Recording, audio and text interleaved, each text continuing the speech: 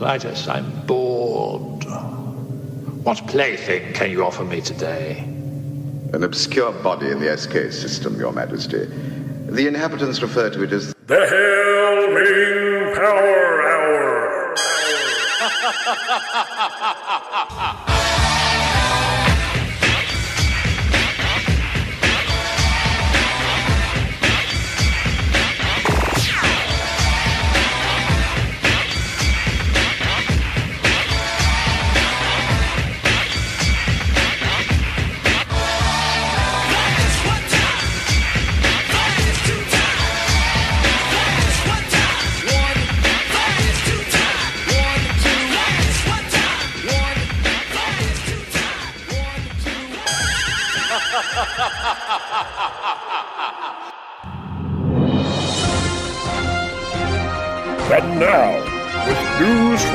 around the universe, it's the Hail Ming Report with news anchor Rik Morgan.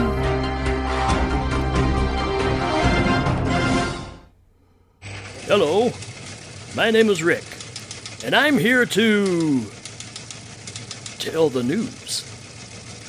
The Jim Henson estate has filed a lawsuit against country singer Luke Bryan Apparently, the Henson estate, who owns the right to the classic Muppet movies and TV shows, have filed a plagiarism complaint against Luke, saying his voice is too close to the beloved Muppet and Sesame Street character Kermit the Frog.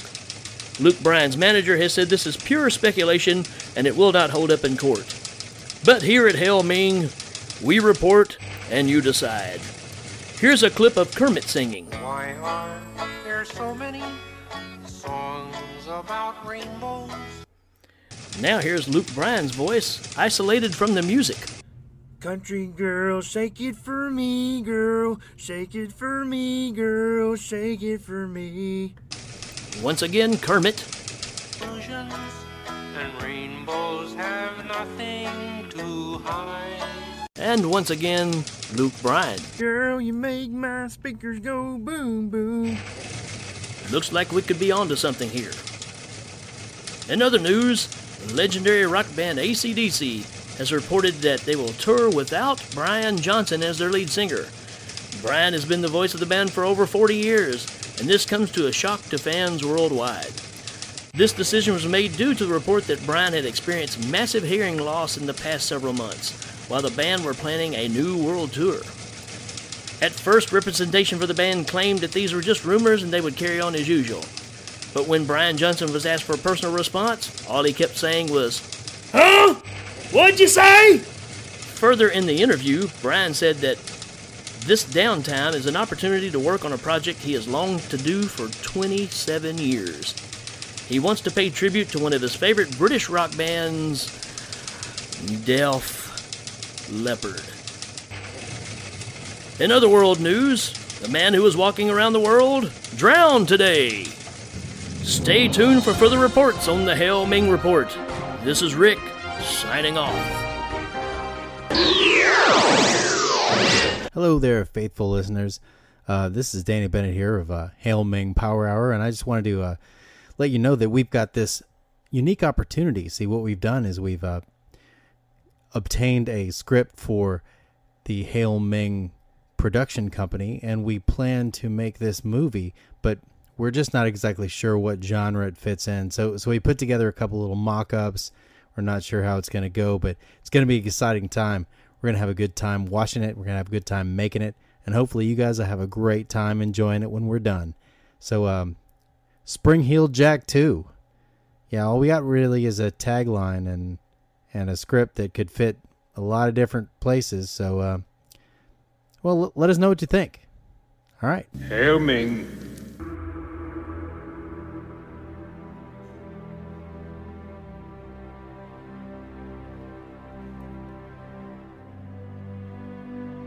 In space, one warrior fights to save mankind.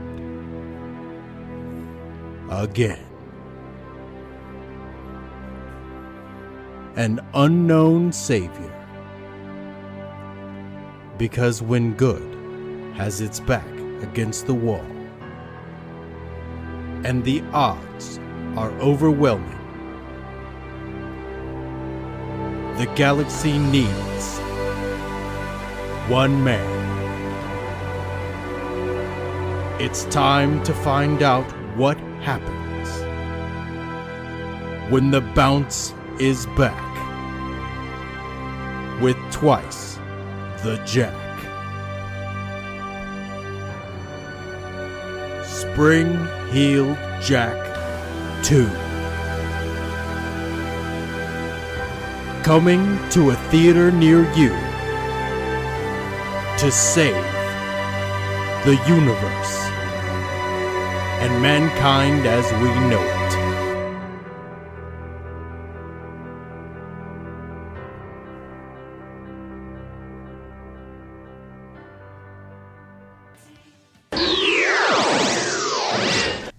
All you knuckleheads.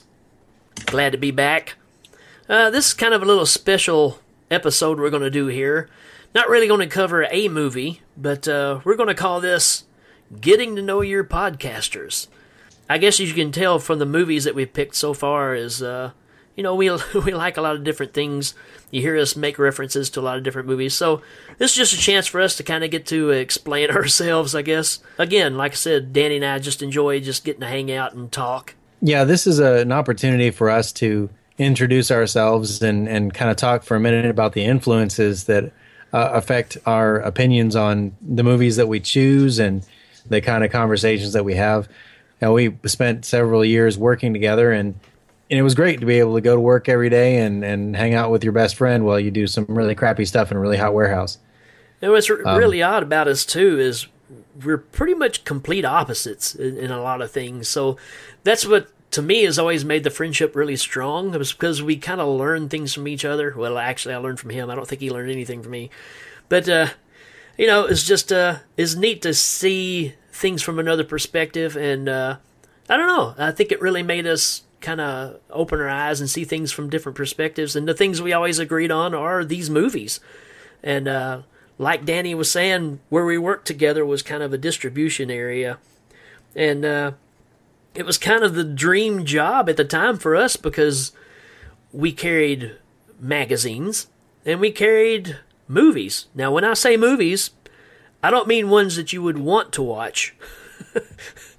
Yeah, they were Trimark movies. Is that what distribution there were? They well, were that's that was part of them for sure.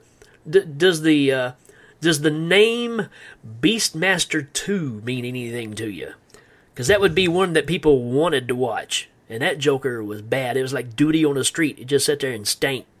yeah, it was like uh, Beastmaster Two through the portal of time. Yeah. And Again, just two buddies getting to hang out and do this for fun. We've been through all kinds of things together, making little short, uh, short films for buddies in college and stuff like that, in film school, and getting to do some movies and things like that. And uh, every day at work, we had an hour for lunch, and I lived like three minutes away from where we worked. So we would grab a handful of these crappy movies off this shelf and just go watch them. We watched a lot of bad stuff, folks. Let me tell you. yeah, they were they were terrible. And the best thing about it was the company. You know, the, we can enjoy a movie that's particularly bad. So you imagine some of our favorite movies. You know, we can really enjoy this and talking about them and, and trying to bring somebody else into the fold. But I ultimately, I think both Rik and I like to perform, and so that's why it's so important that we make a connection with you, because if we don't have an audience, it's hard to perform. Yeah, it's And- hard, hard to stroke your own ego. Yeah, it, it's not hard, but it's not nearly as rewarding. right, right.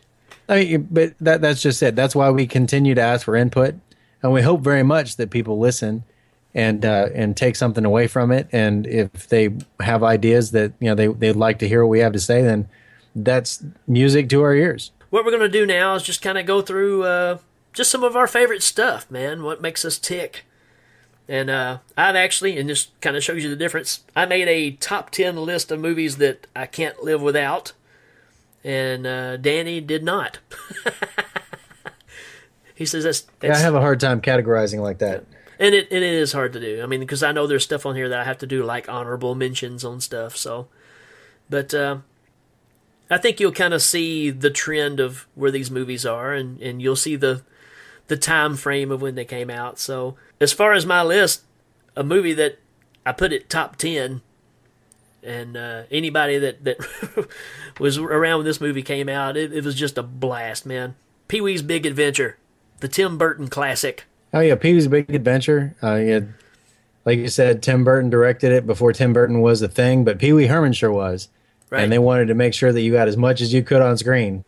So the movie's just great. Hate the sequel, but this one was fantastic. Where else are you going to see Santa Claus, Godzilla, Pee Wee Herman, and Twisted Sister all in the same scenes together? That's that's movie magic, folks. It is. It, other than in my backyard, you cannot see all four of those things in the same place at the same time. And that's not even Christmas time. That's just the way it is at his house all the time. It's just when D comes over. The other ones are already there, but, Uncle but D. has to come and go. All right, so I decided that I would I would put down my favorite, just my favorite thing, and that's uh, the short story "The Most Dangerous Game" by Richard Connell. Yeah. It's uh, it's affected me ever since I've been watching movies, and, and I was introduced to it in school. It's the the story of a of a hunter who ends up on an island where a guy hunts people, and just the just the title of it, the most dangerous game. It's a double meaning. It's not just the game of of hunting this man. It's also that man is the most dangerous game of all. That's why this hunter does it, and uh, it's something that I've always loved the concept of. Just like the Ice Ice T movie, right? Just like yeah, like uh, surviving the game. Right. Yo, Cole, your mom was up there. You know. Which also explains probably why you're such a Kraven fan as far as the Marvel universe.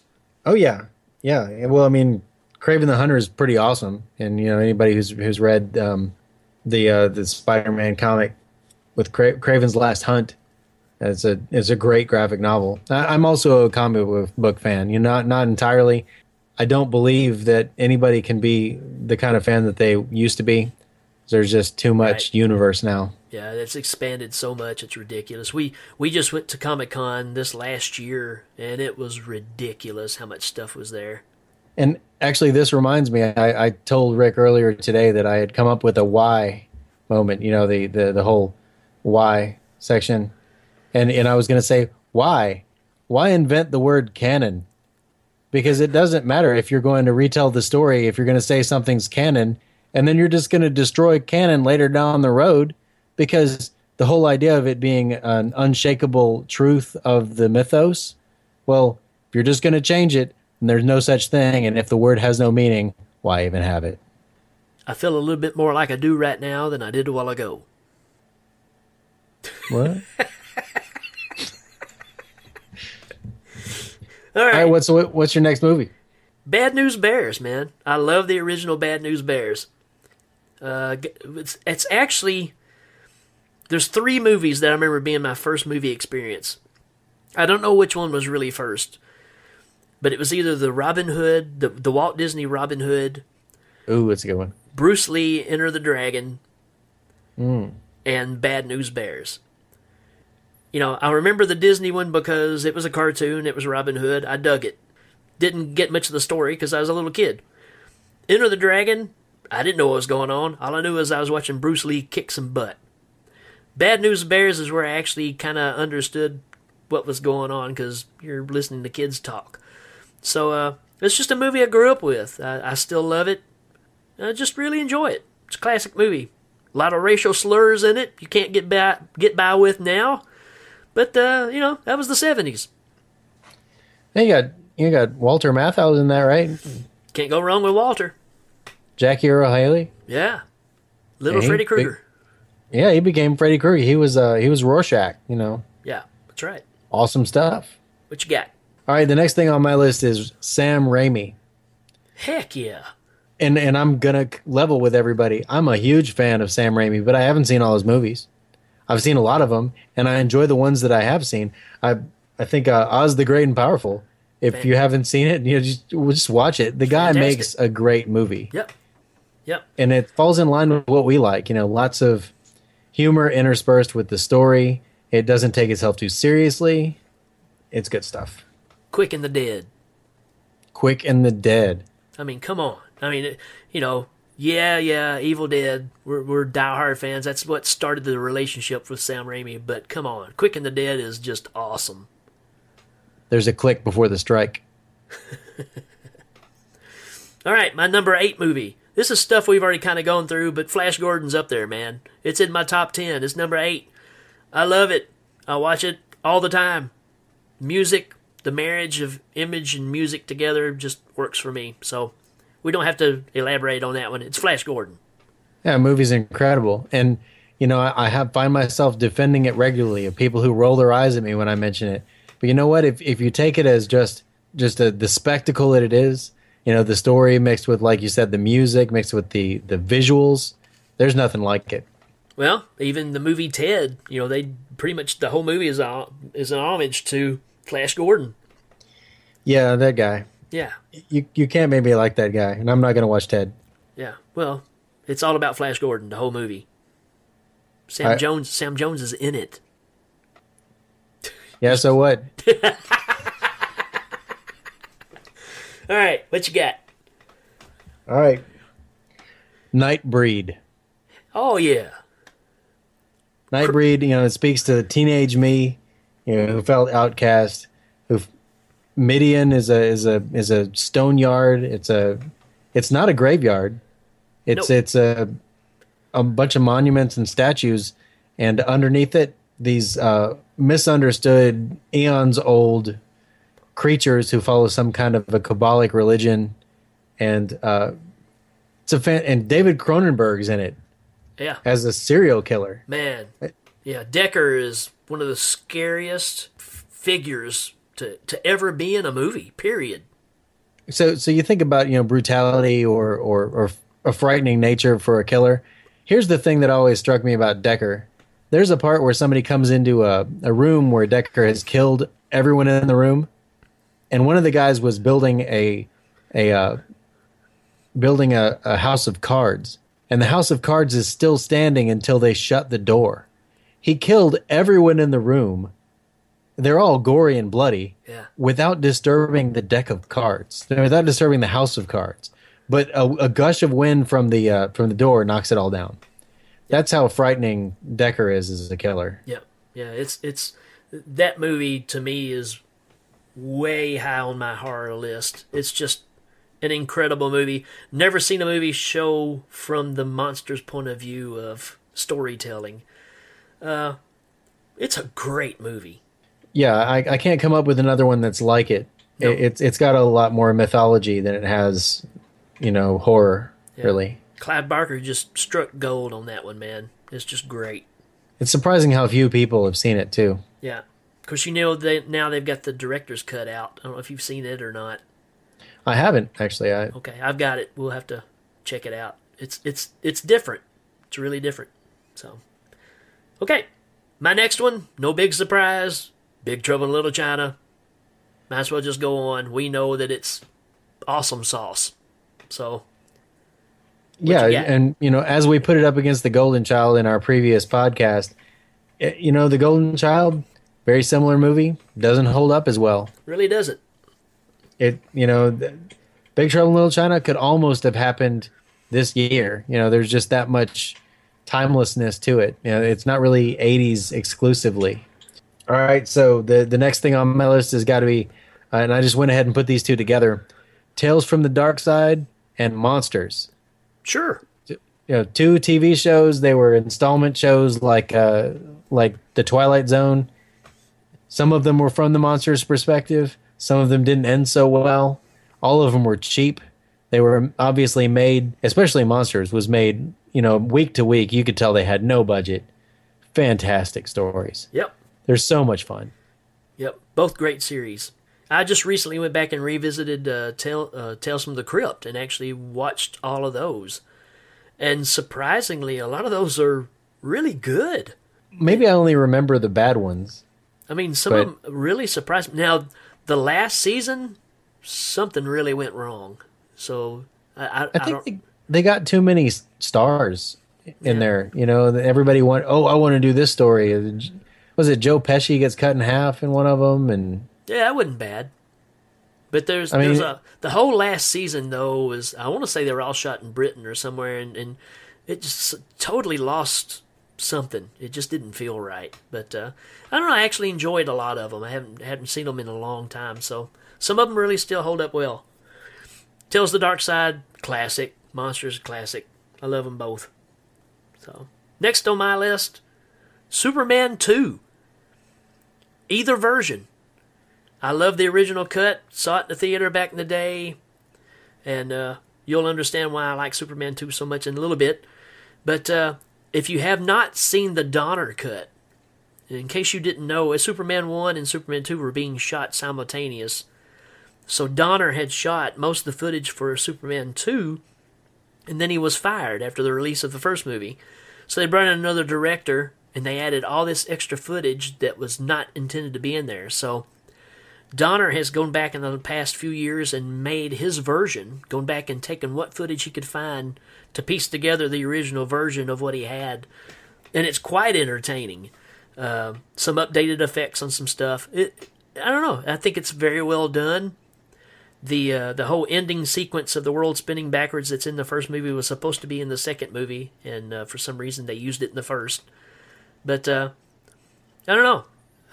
Superman 2 fighting General Zod is just pure entertainment. It's awesome. Superman two was was the introduction of the super villain, right? Because you had Gene Hackman, you had uh, Lex Luthor in the first one, but he was just a, a smart person, not not like uh, General Zod, Non, and and uh, Yeah. and the the third cohort. There was her name, Uh, Barbara. Barbara Bush. Hail Ming. But yeah, I mean, you have the introduction of the supervillain. They're bad just to be bad. Yeah. And that's good. Here, here's something I've got on my, my list. Uh, it, it, it's bound to factor into a top 10 list somewhere of mine. Robocop 2. Heck yeah. Robo, now, Robocop 1 is good. It's a classic. Basil Poledouris made the, the music for it, which also, you know, rolls over into Robocop 2. Robocop 2 was written by Frank Miller, who, Right. who did the, um, you know, the, the Batman rejuvenation when he did, uh, Yeah. when he Dark brought Knight. Batman back, you know, in his fifties and, and, and made that whole dark scenario and, and did Sin City, City. And, and he's he's just got a singular vision. Yeah. RoboCop two is brutal, and it's awesome. And anybody who doesn't give it credit, now RoboCop three, no, but Who- RoboCop two is worth a watch. Who was the director? I don't I don't know right off the top of my head. Yeah, man. Guy did uh, Empire Strikes Back. Irvin Kershner. Yeah. I did know that. I did know that. I didn't think of it. Irvin Kershner is the director. The only guy that should be allowed to do sequels. Yeah, it, well, and he's got a dark view of things that work really well with Frank Miller, and you know it's got a whole comic book feel to it, which is which works for RoboCop, to be sure. Yep. And we will be covering both of those movies in this show somewhere down the line. They can't go unspoken about. Um, next on my list, I'm a Rocky fan, man. The Rocky series. Everything but the fifth one. but I do. I just, uh, I love the underdog story. It's pretty cliche. You can't go wrong with the Rocky movies, man. Every Thanksgiving, I think they show them all on TV, and I'm stuck there eating a big piece of turkey watching Rocky again. You know, uh, I've got them all on Blu-ray. Watched them a hundred times, and uh, my daughter claims that Rocky Four is the greatest movie ever made. So enough said. Go Sierra, Rocky Four. Yeah, Way to pick the best one. I agree. I agree. Um, you talk about montages now. that, that when he was running up the mountain. There's no easy way out. That was some of your best work uh, on the music for that montage too. By the way. Hearts of fire. Okay, so I'm gonna step away from movies for just another second, and I'm gonna and I'm gonna have to give this whole thing several caveats. I'm gonna say WWF wrestling from the '80s, Wow. And what I'm gonna say is I can't tell you trivia about it or all the wrestlers in it, but I grew up with it, and they had a cartoon show on Saturday morning, and I watched it. And I know some of the main players like Hillbilly Jim and Roddy Piper, who I had the opportunity to meet. Yeah, super cool. And that's all I need. I don't need to know the fifth guy that wrestled the Ultimate Warrior before he wore his makeup, and I don't care. What I care about is that when the WWF was mainstream, it was a lot of fun and I liked it. Sure. I was uh, just a little old for that, so that's where our age difference kind of kicks in because I had just Sure. gotten out of wrestling at that point. Uh, to me, when they started making the cartoon, I was done. So, but you know, I was Well, yeah, I was five years younger. The cartoons were Right. probably a bigger draw for me. right, and I remember them as plain as day. So I can I can see why that was the influence. So, uh, next on my list, no big surprise, Star Wars four, five, and six. Uh, what can you say? It's Star Wars. You like them it. so much they occupy a single space. Right. You can't have one without the other. Four, five, and six. Uh, Yeah. you know, People give Jedi a lot of flack, but um, Return of the Jedi is a tight movie, and it's got a lot of fun stuff in it. it's my least favorite of the three. Um, I it's I got, might have to say it's one of my favorites. I mean, as far as the fight scenes, it's got the best fight scenes in it, hands down. The- I if you took Yoda out of the second one, then I think that the Jedi would win hands down for me. But um, Yoda really makes Empire Strikes Back. Yep. I, I love Yoda and his whole section on Dagobah. It's, yep, it shaped my childhood. sure, but uh, I don't know. I, I think Return of the Jedi, and again, because it's an age thing. That's about the point where I saw the previews and it was like, man, it's just a bunch of puppets. And I think it kind of hurt my opinion of what Star Wars was. So it just seemed more puppety than normal. So I kind of passed on it when it first came out. But in hindsight, going back and watching it, it's great. I mean, four, five, and six are just where it's at. I, I see where you're going with it, and and there's definitely a point. I was thinking the other day about how it's always bothered me that you know uh, Princess Leia as Boushh goes and, and rescues uh, Han Solo, Oh, and it's like she she waits for all the bad guys to be asleep in Jabba's palace, Yeah. and it's like if it was half a decent hive of scum and villainy, they'd stay up all night. Right. But you know, it was for kids, and it was like, well, how does she get her out? Well, they wait for everybody to be asleep, and then when they're asleep, she gets it. It's like, okay, yeah, it's made for kids. Eh, They don't try too hard to make it make sense. I think that was the problem too. Is Chris? yeah, you know, I was seven when the first one came out, and, I, and by the time Empire came out, it seemed like it had kind of grown up with me. Then when you get past that, it seemed like it got younger for kids, and I had grown up a little older. So, yeah, it seemed like it was more kiddie. But hey, I'm not complaining. I'll watch it anytime. Yeah, yeah. Well, it was your choice. You're up. So I'm gonna I'm gonna jump in with the next thing on my list, Dredd 3D. wow. You know what? I really enjoyed it too. So Dredd 3D, it's a tight movie. I mean, it all takes place in a in a smaller. The the acting's really good. The action's fantastic. Um, there are just some moments in it where I love the direction it goes. I was really blown away by it. It's right up here with RoboCop 2 as far as just a, a brutal, dark dystopia with, with a with a great hero. And, and it may have helped that I went into it not expecting much. Mm-hmm. Because, you know, let's face it, the, the other movie is just not that great. It's got its moments. But this thing just come out and just hit you over the head with a sledgehammer, man. It's it's awesome. Yeah, there's a reason why it's not Dredd 2. Yeah. So that's a good one. All right, we're getting to my top three movies of all time. Number three, Jaws. Absolutely love Jaws. I've bought every version of this movie that has come out. I even really like Jaws 2, but the first one is just movie magic for me. Uh, you could leave the shark out of it, and I would still love this movie. I think the acting between those three characters is just incredible. Uh, it's just great, great filmmaking. And the fact that everything was a, a disaster while making this movie and it turned out to be the movie that it is. To this day, I don't go out far in the ocean just because of this movie. That's the impact this thing had for my age group. You don't pick up hitchhikers because of Texas Chainsaw, and you don't go out in the ocean because of Jaws. That's my age group. I, yeah, I've only ever heard a couple of people say that a movie is better than a book, and Yeah. uh, I think at least twice I've heard people say that Jaws the movie is better than Peter Benchley's novel.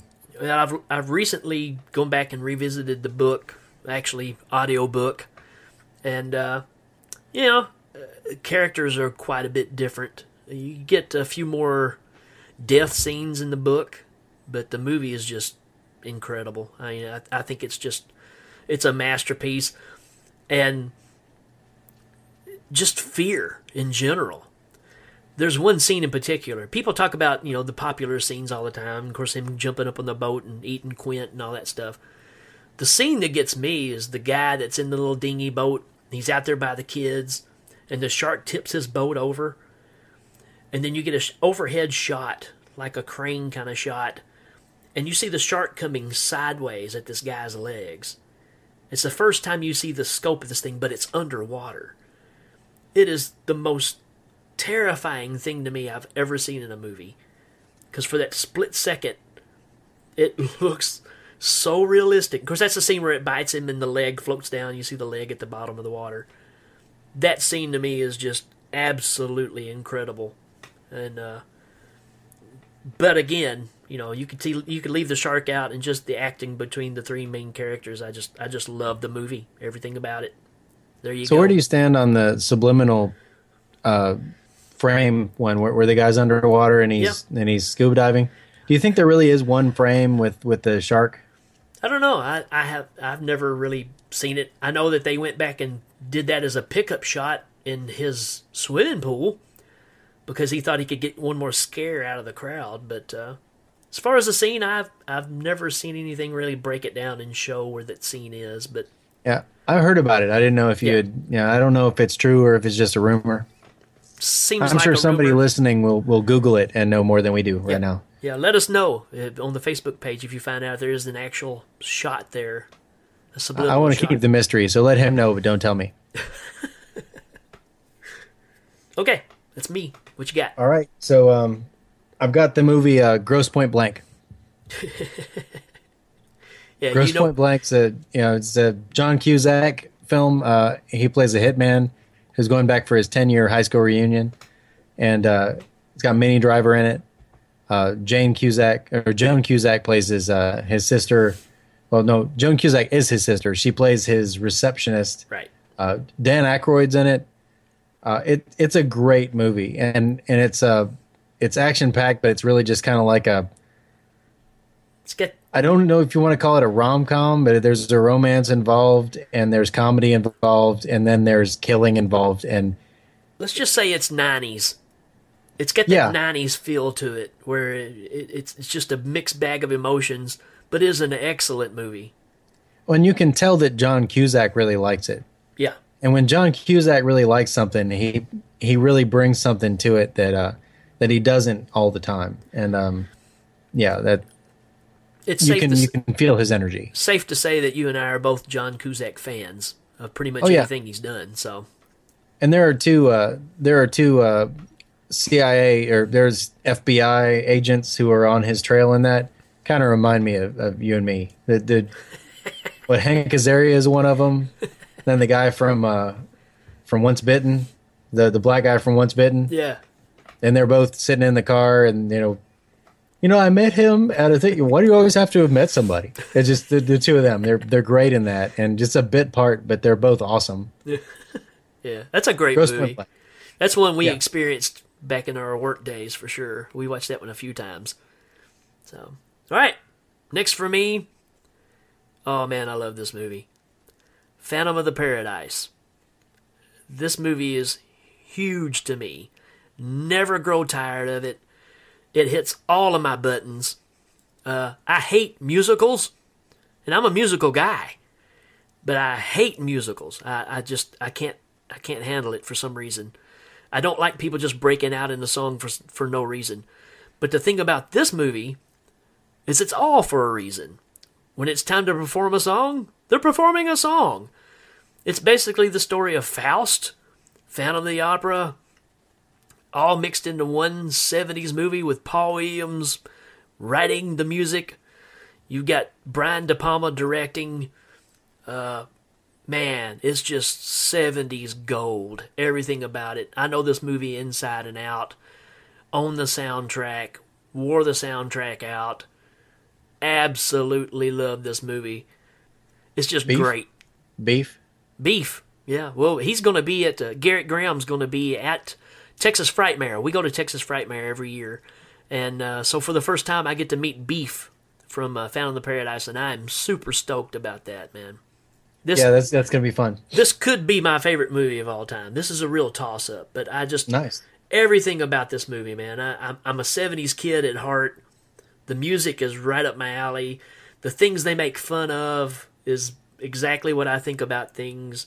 The performances are great. You got a group that's pre Kiss on here that's kind of got the Kiss makeup thing going on. It's just funny, uh, scary. It's everything rolled into one. I just, I love it. Case closed. Case closed. Hear that, internet? Don't try and convince him of something else because. It's Phantom of the Paradise or nothing. And it's kind of like your your love for Sam Raimi. I kind of have that for early De Palma. His first, you know, You introduced me to a lot of his stuff, and, and I agree. He's he's a really good director, and I really have enjoyed what you've shown me. yeah. So, yeah, Phantom of the Paradise. Check it out.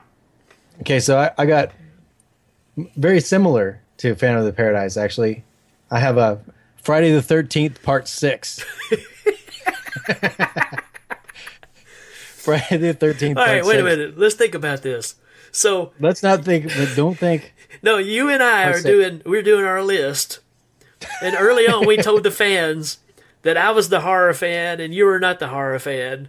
And you've had way more horror movies in your list than I have.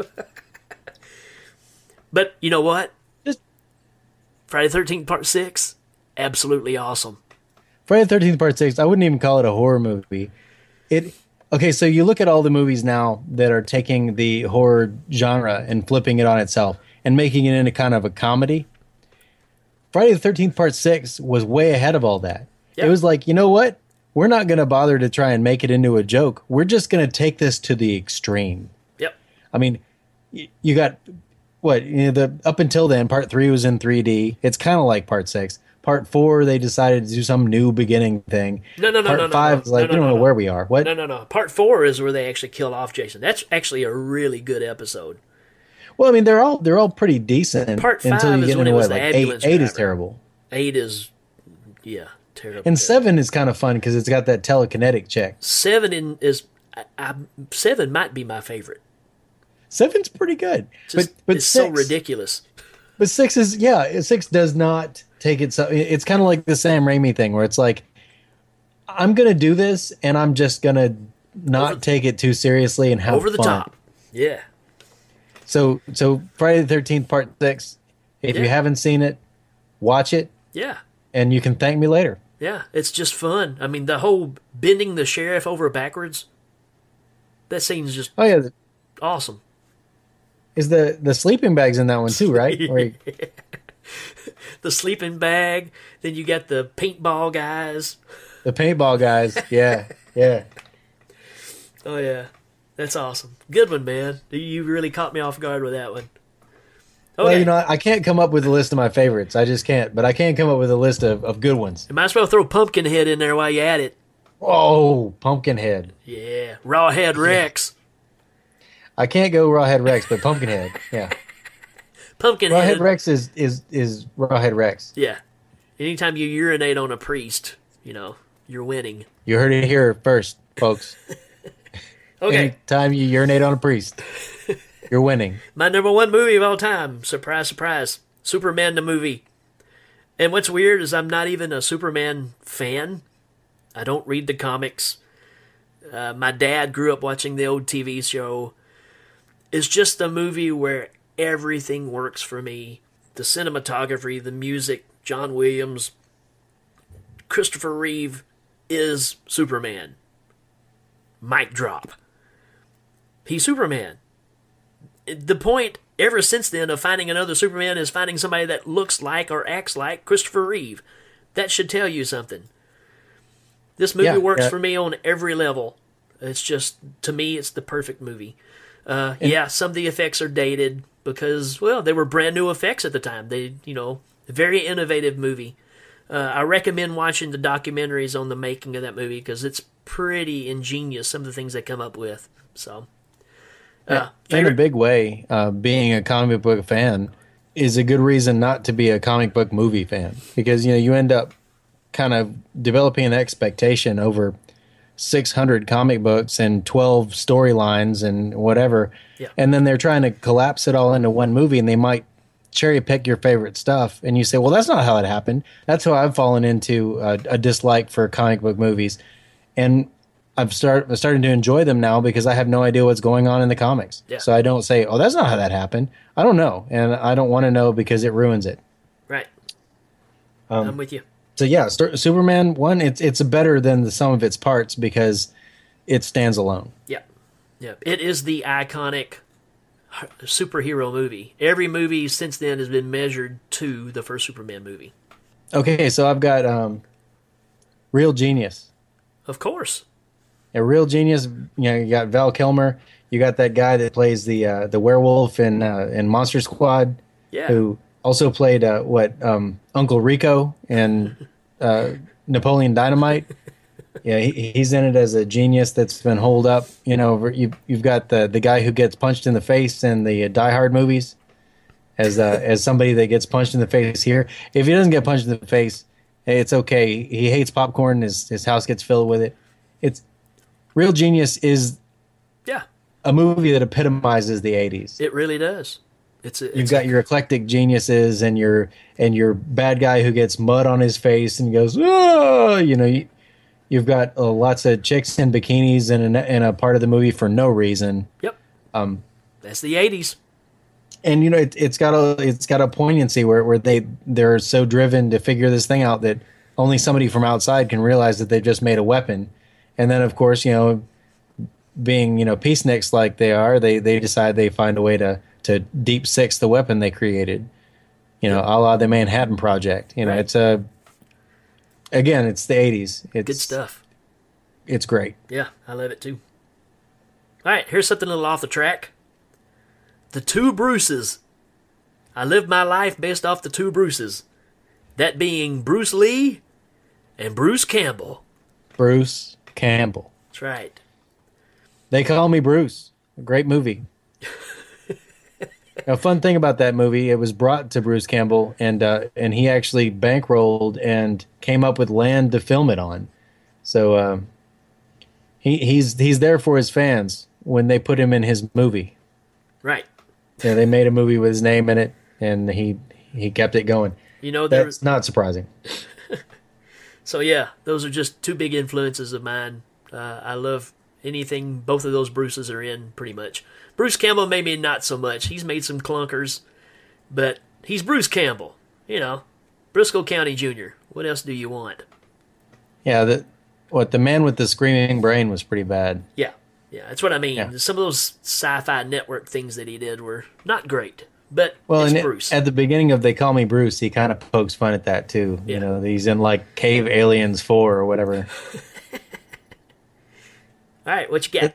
Good ones, Bruce and Bruce. I like it. Yeah, Um, all right, I put down Cyndi Lauper. of course.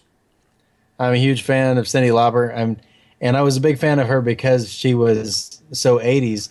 But as she's gotten older, I mean, I, I came to realize I listened to an interview with her um, on NPR. And first of all, I could just listen to her talk all day. But on top of that, and she's got a tremendous voice. I mean, she's an activist. Uh, she just seems like she'd be a lot of fun to hang out with. Cyndi Lauper. Got to Right. put it in there.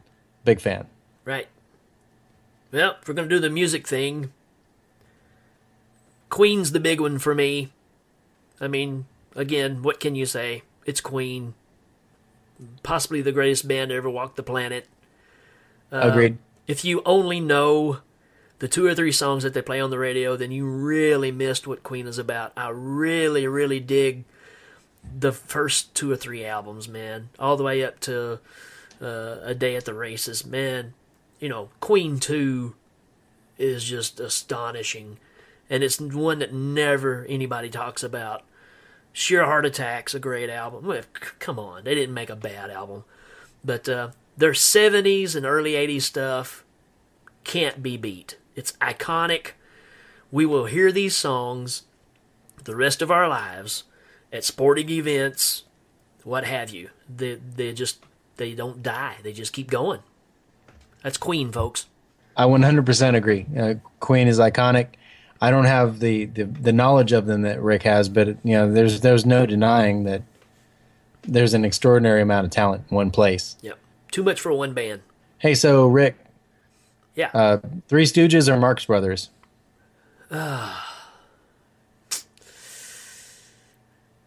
My my youthful self says Three Stooges, but overall, Marx Brothers. Yeah, I'm I'm Marx Brothers. I've never been a Stooges fan. Yeah. I mean, you know, Stooges are funny because really that's where our Bruce Campbell humor comes from. The Sam Raimi Yeah. stuff is total Three Stooges. But man, you go back, you go back and watch, you know, the Marx Brothers stuff. Man, so ahead of its time, so racy. The things that Groucho said back then is just unbelievable. Yeah, Groucho is is is really mouthy, and and from what I understand, he was he was an awful person. Yeah, yeah, he was not a I- nice guy. I think his uh, his daughter has come out and said, you know, I I, I know I saw a, uh, a an old film of him and his daughter, and they were singing uh, "Anything You Can Do," and uh, you know, singing "I I Can Do Better," Yeah, and you could tell he was just trying to get her in the limelight with his you know star power, and you could tell she hated it. yeah. At least I I thought I I got that. Maybe she didn't. It really looked like it to me. all those guys super talented too could pretty much just burn any instrument alive and uh, because that's the old vaudeville lifestyle style Yeah. you know you Yeah. had to be able to deliver all those abilities be able to act be able to be funny dance sing you had to be the total package Yeah, j- just like me and Rik, really. yeah yeah you know, watch me Dance. bust a move Sing, write novels, raise parakeets. all right i got i got a good one for you What you got? firefly Firefly. yeah It took me a while to get on board with it. Love But, it. uh, Love the series. Gone but not forgotten. It, it was it was killed before it should have been killed. Killed in its prime. I think the problem I had with it was I, I was excited about it when it did its Fox run, and I've come to find out that they played the they played one of the later episodes first Yeah. because they they decided the first episode didn't have enough action in it, so it didn't make any sense. Right. and I usually can roll with something, but when it's the first episode and it seems like it's going to have some explanation and it has none, I kind of figure I might have missed something, and, and I think it put me on the back foot. But in that first episode they aired, when he when the guy's in the middle of the villain speech and he kicks him into the jet engine, Yeah. I was like, you know, there's something here that, that isn't anywhere else, and I did have an appreciation for it, even if I didn't pursue it. Yeah. I just In that I, vein, uh, I just recently fell in love with it just a few years ago, and uh, I didn't catch it when it originally came out. Uh, just happened to come across a set of the DVDs of it, and just instantly fell for it. And I couldn't believe how quickly it was over. You know, I'm just getting into the characters, and it stops. You know, yeah, it's got style. it's a great, great series, and uh, of course Joss Whedon, you know, doing all the Avengers stuff and all that. This is him cutting his teeth on here, so it's great stuff. Good. Uh, Well, I mean, I think it's arguable that he cut his teeth on the Buffy the Vampire Slayer well, sure, stuff. sure, yeah. And he wrote two comic books too, which are a lot like Buffy the Vampire Slayer. Oh yeah, Yeah, I, I know that's that's not your wheelhouse. They weren't really notable. One of them was called Fray. A- anyway, yeah, but Joss Whedon, yeah. I couldn't put him in this list though. He doesn't really epitomize the stuff that brings me to the table. I like his stuff, but um, I, I, he's not Sam Raimi. No, no. Just trying to generate hate mail now. you know. Joss Whedon, what a hack! Uh, what you got? Anything? Um, Amazon Women on the Moon. Sure. Also known as Kentucky Fried Movie Part Two. Yeah, Kentucky Fried Movie was funny, but I didn't catch it. You know when it first came out, and I did couldn't. catch Amazon Women on the Moon. You weren't so alive when kinda it first came out, so What's that? you weren't alive when it first came out. When did it come out? Seventy four. Okay, so I was just barely alive. Okay. Oh, well, I was alive that December, so probably not. Yeah. Yeah. You missed it. I missed it. Yeah, Amazon Women of the Moon. Recently went back and watched that. It's it's fun, man, even now. It's 80s to the max though. David Alan Grier, man, as Don No Soul Simmons, the man who took a personal affliction and made it into a a, a talent or whatever they call it. it. It's good stuff. And it wasn't Zucker Brothers, No, whereas um, uh, Kentucky Fried Movie was right. right. But it was uh it was billed to be called Kentucky Fried Movie Part 2 and something happened where I think either the Zucker brothers or somebody said, "Nope, can't do that." So it kind of stopped it from uh, going down that path, I believe. Something to that degree. I'm a I'm a Kentucky Fried Movie fan. That's you know one Well, of the funniest things. I think me. they're both funny. I, I just, you know, like I said, I missed the boat on it initially through. Yeah. And Kentucky Fried Movie for me, it, it's it's a lot like the uh, Monty Python compilation movies, like, Oh, yeah. and not for something completely different. Yeah. It, it's just as funny. And Monty Python. Yeah. Have we talked about Monty Python? We're doing it right now. It's awesome. Yep. Yep. Pretty much anything they did, fantastic. Yeah, I mean Terry Gilliam movies as an extension, or you know maybe Monty Python's an extension of his. Yeah, but that really whole hard to tell, um, really. Yeah. yeah that whole comedy troupe. Yep. You know the flying circus stuff. It's hilarious. Takes you a while to get used to the humor because it is really different, but uh, it's just classic. Okay. Um, what about? I've got Battlestar Galactica on here, and Ooh. both both series. I like the original, but I really liked the newer one. You know, I, I remember the, the original from growing up, but the same way I, I, I remember Land of the Lost. Um, just kind of Yeah. strange snippets that never put together. Um, and much like Firefly, I, I tried Battlestar Galactica and wasn't hooked on the first episode. Yeah. And I think I instead pursued Farscape. Huge fan of Farscape, but um, the the Battlestar Galactica show I never really got into. I heard good things. My mom's big into it. it's uh it's really really addictive. Once you get past the opening of it which is the hardest part because they try to cram too much stuff in there Yeah, and it takes so long for character development but after it gets going man it is nonstop. It it is very well done. And you know it's got the controversial ending to all of it but uh that's that's one series that i actually enjoyed going all the way through. It was great Well, I'll have to um, I'll, I'll have to give it another try when I get an opportunity. Of course, we got like a, a zillion movies to do, so it might be a while. Um, you know, like uh, how about Farscape? Farscape's great. Uh, Farscape's a, a great little show. I, I I like some of the things they did with it. You know, similarly like like when they took a task force of the aliens that they had had problems with in the past to take with them on a on a, a siege of the enemy ship. It, it was great. And then the fact that that the uh, aliens that they found were willing to help them because they were all kind of substandard. One of them was really old, and the other one really couldn't track. It's just it had a lot of nuances that made it a great little show. You know, that made it interesting and fun. Here's 1970s and 1980s Dario Argento movies.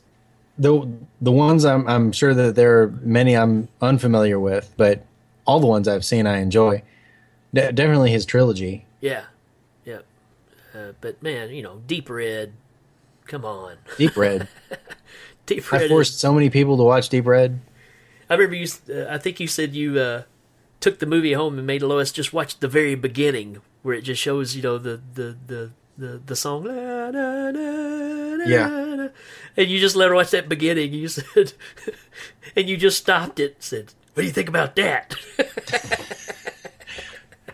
Well, yeah, you got to find out. So yeah, I mean, you know, the the animal trilogy he started off with uh, are all great, but really started hitting the stride with with you know Deep Red, Tenebrae, Suspiria. Oh man, I'm all about some Argento. So uh, yeah, I love the Italian horror stuff. That's that's my forte, basically.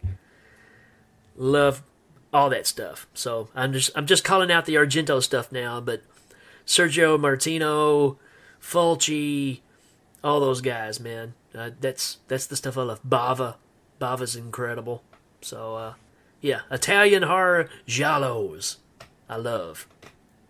Yeah, and and I never would have been familiar with it if it hadn't been for you, and I'm thankful for that because it's a different take on it than American horror by a long shot. Um, not that they didn't start taking from it. Yeah, I mean that's the thing is everything we see that is a who done it kind of movie that we make is just basically a ripoff of of a giallo. So uh, even Scream is a giallo. Yeah, So Carpenter even said, you know, when he made Halloween, he tried to come up with music that was similar to the theme that was in Deep Red. and we all know how popular that theme is. Yeah, I had something a minute ago, and then it went away. sorry. No, no, it's fine. It's it's not a problem. It's just spitballing now. So Roger Corman. not a huge fan of Roger Corman or Full Moon Pictures for that matter. I mean, Yeah, man, those those are kind of hard to. They're kind of I, hard to I put them in the same category. They, they're both kind of. pretty close. I think about Zack Snyder. Yeah, sure, why not? I mean, Zack Snyder directed at uh, 300, Yep. Watchmen, the new Superman. Well, I'm not going to comment on that. I, I think DC has has managed to take things just too far. Too serious. Even even with Zack Snyder, who who's obviously a talented director, they've Yeah. just taken it to a point where it's hard for him to pull it out of that tailspin. Yeah, yeah. It's you know I'm not really looking forward to the to the new Batman versus Superman movie. I'll still go see it, I guess, but I don't know, man. Uh, just too dark. You know, I want my superheroes to be super, not Yeah, brooding. you know, emo kids. The thing that pulled them out when they were losing to Marvel was kind of that they made all their characters into iconic pillars of the universe. You know, they were all infallible and their their strengths were very strong and their and their limits were very weakening. And Marvel on the other hand was making everything more slice of life and and reality based. And so it managed to pull DC to the point where people really liked their noir feel. You know, that everything was kind of a, a dark and stormy night, you know, with a beacon of light. Yeah. But it's flipped now where, you know, Marvel's reality based thing is, is, is resonating with people and, and DC's almost like it's untouchable, so it's not really enjoyable. And hopefully, you know, maybe good things will come out of this. I don't know. I, I haven't. I don't know, man. I just I'm not feeling it. It just didn't do it for me. I think he's a great director. Uh, I'm not taking that away from him at all. No, I was just wondering. No, I think he's great. How about this one for you? Iron frickin' Maiden. Iron Maiden. Well, Yeah. I mean, how can you even argue that, that Iron Maiden I'm an I'm an Iron old, Maiden is Iron Maiden? I'm an old metalhead, so you know. when you're talking about eight or nine minute long songs with guitar riffs and, and, and high wailing. That's right. And you know that might sound awful, but they, they make it work. Yep. They're no bolt thrower by any means. Who is? the answer is bolt thrower. Yeah, they're the only bolt thrower that I know of. Iron Maiden. I mean, that's. I, I, I remember not caring for them much back in the day, but as I've grown musically and stuff, I realized how great musicians they really are. So, uh, yeah, I enjoy the What Maiden. about- What about Bruce Dickinson's uh, solo album, oh, Chemical Wedding Chemical Wedding? is great. I almost like it more than, than I like Iron Maiden. Uh, you know what? I, I about have to agree with you. Yep, it is a fantastic record, which has one of the members from Iron Maiden playing on there, so that helps. But yeah, Is it Eddie? no, it was Adrian, Bruce Dickinson. Bruce Dickinson. All right, I, I, I got nothing left, Chickadee. What do you want to do? Yeah, that's pretty good. We did an hour. I figured it would end up being that way once we started rolling. yeah, uh, G versus E. G versus E. Well, there's another one from the time that we were together that we discovered at the same time. That, this show's awesome. It was cut off in its prime. Yep. I think that's It could have done people, so much more. people should revisit it. I wish they would have released it on Blu-ray or DVD or something. Really hard to find. Great series. Uh, basically, people who's been killed and brought back to kill demons that are roaming free on the earth. So, uh, just a cool Yeah, idea. demons who have little little rubber horns that are you know taped to their head. Yeah. You know, bad effects. But yeah, the effects are not really, great, but the storyline is kicking. Yeah, it's snappy dialogue, great actors in it. Deacon Jones, Yeah, he's awesome. the cut up. now I use it to cut up Morlocks. Morlocks, that's what it was. Yeah, I looked up the Pate brothers after I noticed G versus E on on um on our original list, and uh, both of them are still working in TV. One of them's a producer of that that show Blood and Oil, and Yeah. they've written several episodes of different shows. They're they're still active, which is good because the the Pate brothers, by the way, the uh, the directors of the G versus E series, How about uh, John Hughes films? like John Hughes films. I mean, yeah. I'm from the '80s. Yeah. So we got several of those wired. that are going to be on the list. Weird Science. I mean, the thing about the Breakfast Club or or Pretty in Pink or or even Weird Science is Weird Science might have to make it on there just because it fits so closely to our genres, but all those movies don't need defending, uh, and it's because they still Yeah. people still like them now. Timeless classics. Ferris Bueller. Never get tired of it. I was just talking with somebody about Ferris Bueller yesterday because there's a uh, a Smith song that's uh, that's just an instrumental that's in the museum scene. Oh, yeah?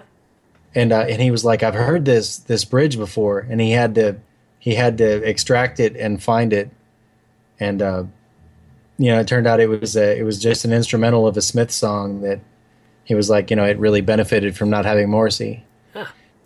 I'm I'm a I'm a big Morrissey fan. I, I mean, Yep. if I ever just want to be really depressed, I just sit down and listen to a whole album that Morrissey is singing. Yeah, that's that's kind of what he's known for. Oh yeah, uh, So, so again, folks, there's the difference. You got Morrissey and Cyndi Lauper over there, and you've got Kiss, Queen, and Iron Maiden on this side. So that's that's where we meet and greet, man. Which, we, but we both like that stuff too. So it's kind of a weird. Uh, we're we're just kind of open to whatever, really. So Yeah, I think that's the the thing is that it's an open mind kind of thing. Yeah. I, I never said, well, I don't like what you like, and he never said, I don't like what you like. We just said, well, what do you like about it? And maybe maybe Last Action Hero. Last Action Hero, man. That's that's really my best argument. I'll have That- to re- might I have to revisit it, I guess, and and see what the hype is. I might have to revisit it and find out if I'm wrong. It's like the argument you had about the movie Necronomicon too. So, W- was I wrong about that? uh, well, big fish dude with the hat with the book.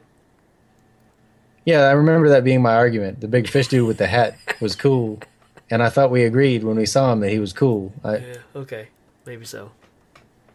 So yeah, some of this. That's what's going to be fun about this as we go along. Is we've got to rediscover some things too, because you know how it is when you think back and go, "Oh man, that was awesome." Then you go back and watch it and go, "Yeah, what was I thinking?"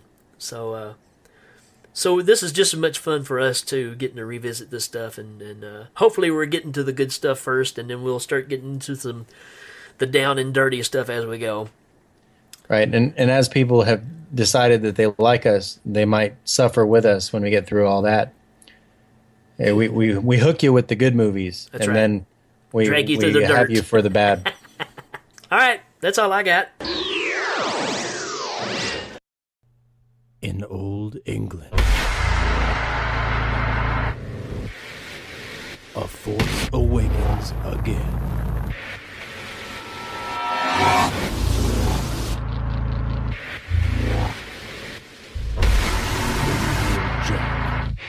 Two.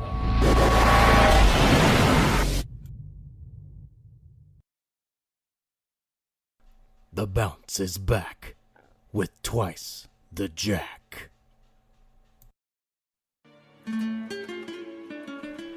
She was done with love. He was lost and alone. This little cottage in the countryside was just what the love doctor ordered. If he could survive the crazy fits of her broken heart, and she could handle his snoring. Once they're done with that, they just have one last thing. That jumping madman hiding in the attic. Spring heeled Jack, too.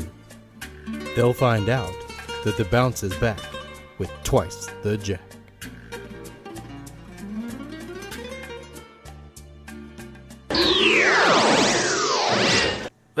Get to know a little bit about us.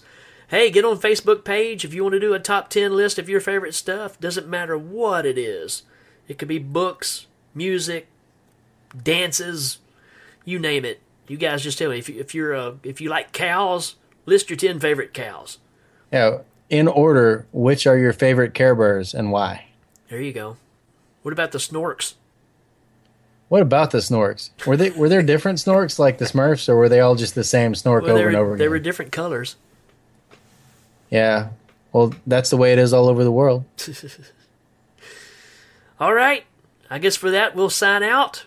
We'll see you guys next time. Adios. Auf Wiedersehen. So